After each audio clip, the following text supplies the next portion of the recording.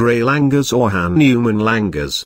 The most widespread langurs of the Indian subcontinent, are a group of Old World monkeys constituting the entirety of the genus Semnopithecus, from ancient Greek semnos, revered, august, holy ape, monkey. All taxa have traditionally been placed in the single species Semnopithecus entellus.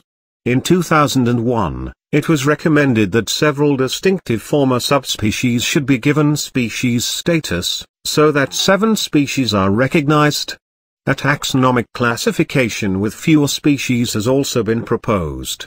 Genetic evidence suggests that the Nilgiri langur and purple-faced langur, which usually are placed in the genus Trachypithecus, actually belong in Semnopithecus.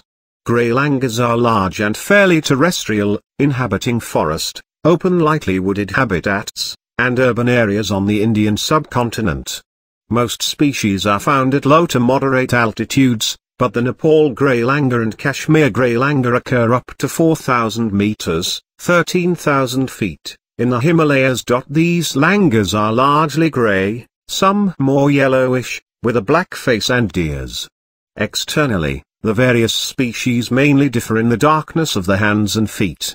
The overall color and the presence or absence of a crest typically all North Indian grey langurs have their tail tips looping towards their head during a casual walk whereas all South Indian and Sri Lankan grey langurs have an inverted U-shape or S-tail carriage pattern. There are also